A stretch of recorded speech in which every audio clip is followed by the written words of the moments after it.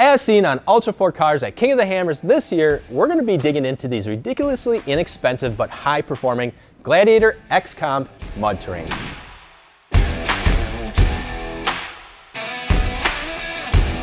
Hey, what's up guys? Josh from Trailbuilt. Welcome back. We know that Gladiator has one heck of a super durable and tough tire throughout their models. These X-Comps are super aggressive looking and they can definitely take a beating.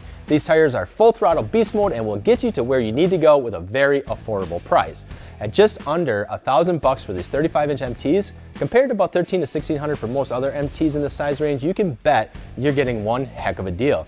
With having this aggressive mud terrain tread pattern with huge tread blocks, tread voids, and staggered shoulder lugs, you can expect to have that typical howl of a mud terrain on the road. Also, increased rotation duration alignment on install will help keep these mud terrains lasting much, much longer than neglecting them.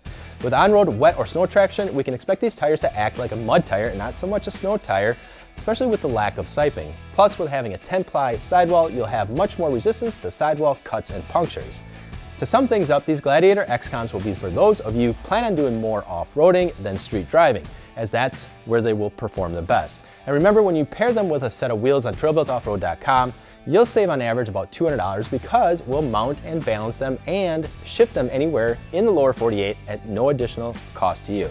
As always guys, we appreciate all of you for watching. I'm Josh from Trailbuilt and we'll see you guys out on the trails.